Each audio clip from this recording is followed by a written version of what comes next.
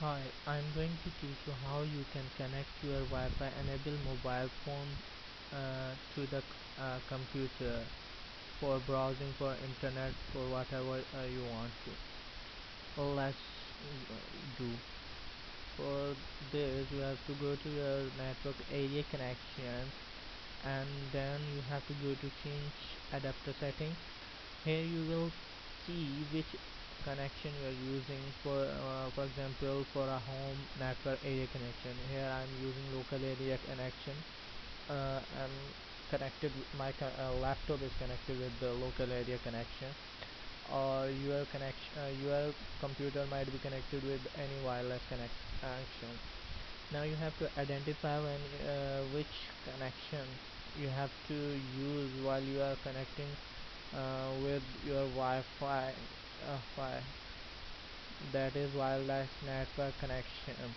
One setting more uh, you have to disable disable Intel My Wi-Fi technology if you have. Uh, second thing is you have to go to the properties. Now sharing you have to check uh, uh, check this out both in the uh, wireless network connection or here. Now you have to select both of them. Select both of them and right click click bridge connection. Now the connection will be bridge. If your connection will be bridge now this is disconnected. Now you have to go to the set up a new connection and set up a new ad hoc connection.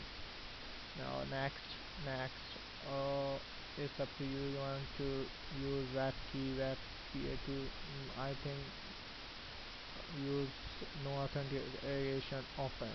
Now now click next. Oh sorry I haven't written the name.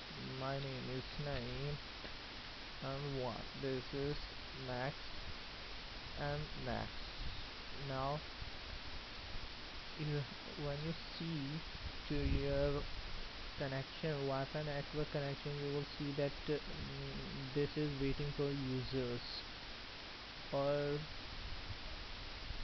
now you have to, what ha you have to do if you want to connect your laptop or your mobile phone or whatever you want to connect then go to uh, your mobile phone and search Wi-Fi. Now search Wi-Fi or there you will find 91 or whatever you have uh, written the name then connect. Now I have connected. You can see that is connected. This means you are have connected with this computer. Now you can browse uh, internet or whatever you want to browse.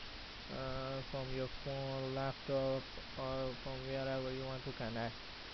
Thank you for any help kindly send me message